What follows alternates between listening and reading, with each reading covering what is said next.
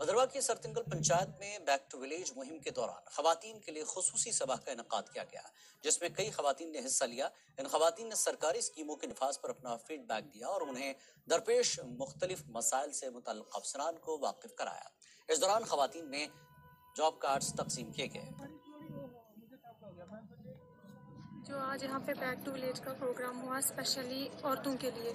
ये हम औरतों के लिए बहुत बड़ी बात है। आज से पहले ऐसे कोई प्रोग्राम हुए ही नहीं जहाँ औरतों को बुलाया जाए, जहाँ औरतों की भी बात सुनी जाए। आज ग्राम सभा थी हमें इधर बुलाया गया था और जहाँ कार्ड मिल गए हमें जो काफ़ी प्रॉब्लम थी, हमारी दूर हो कैपेसिटी में हम उनको एजुकेट कर सकते थे कि कैसे किया जा सकता है।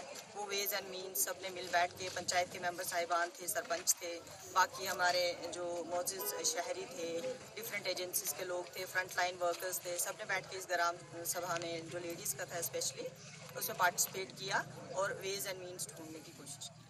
ठीक है